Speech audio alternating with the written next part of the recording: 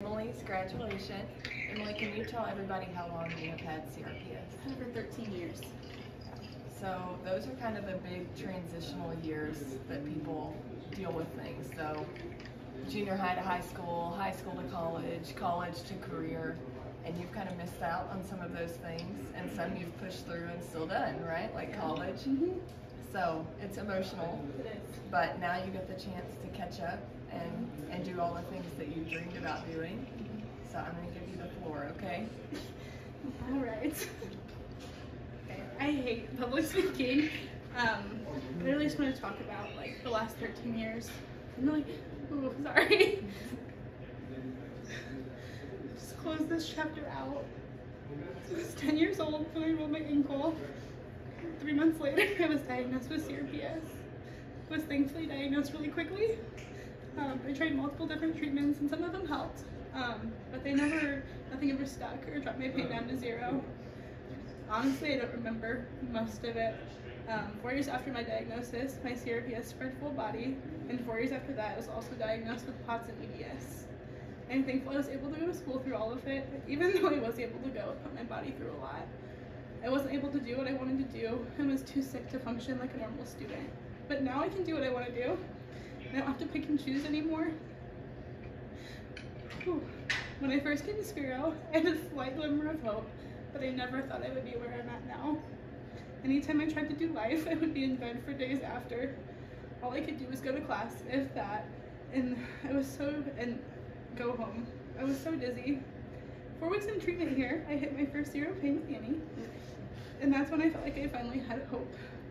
I had no idea how much my body was capable of doing, but in the past almost six months, I've learned to trust my body again, and for that, I'm so grateful. I want to thank everyone that supported me throughout my journey and helped me get to where I'm at today. To the doctors, thank you for being a team that let me feel like I could actually express what I was feeling and never doubting me. To Annie, I don't even know what to say. You have been by my side through the whole experience here, and I couldn't be more grateful. Thank you for letting me cry just about every day.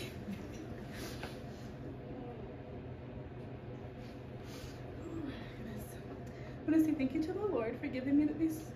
I messed up. Sorry. to every other staff member, you have played such an important important role in my healing journey, and I'm so grateful for all of you.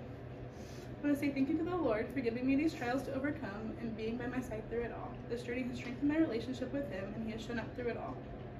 Thank you to everyone who has helped me get here and supported me back home. And to all the patients here, you all are amazing, and I'm so grateful for the special bond that we share. To my family, thank you for being strong when I couldn't. I wouldn't be here without you. There were so many times I wanted to give up.